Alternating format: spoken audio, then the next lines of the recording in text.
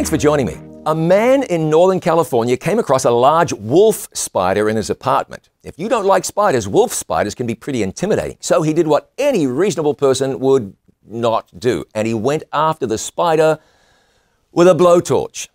The spider, now on fire, didn't much appreciate this, so it scurried away to a mattress which caught on fire, and the fire spread and did thousands of dollars worth of damage, and the building was evacuated.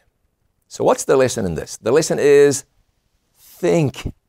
Think before you do something breathtakingly unwise. Now, today you're going to have the opportunity to surrender your life to God's guidance and direction. You don't have to do that, but think about what the choice represents.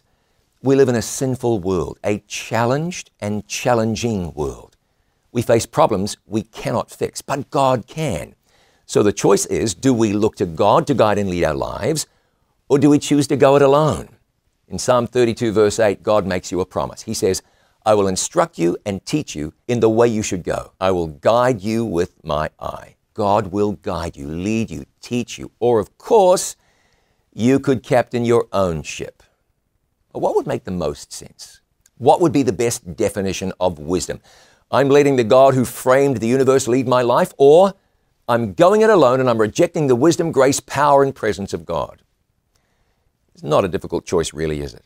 A man saw a spider and thought the best thing he could do was go after it in his home with a flame. You think that's silly? You think that's silly? Compared to leaving God out of your life, it's the height of intelligence. Make a good decision. Bring God into your life more and more. I'm John Bradshaw for It Is Written. Let's live today by every word.